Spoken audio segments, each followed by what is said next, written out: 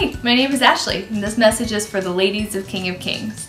On Saturday, September 29th, we're going to be having a women's retreat with the theme of To God Be the Glory.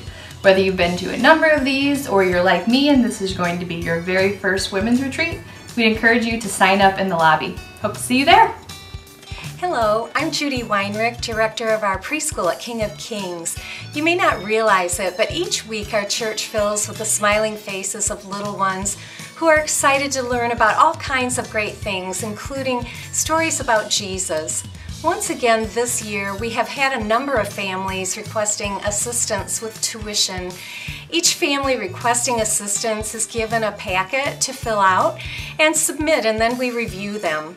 We're asking you to prayerfully consider making a contribution to the Preschool Assistance Fund so that our young preschool friends have access to the daily stories of Jesus' love and His salvation for all His children. If you are interested, simply place a check in our offering plate and include the phrase for preschool scholarships in the memo line. Thank you so much for your generosity. Good morning, King of Kings. My name is Abby Nelson, and I am the new Sunday morning nursery coordinator. We are currently looking for volunteers for the 8 o'clock, 9.30, and 11 o'clock services to spend time in the nursery with some of our littlest members, specifically ages 3 and younger.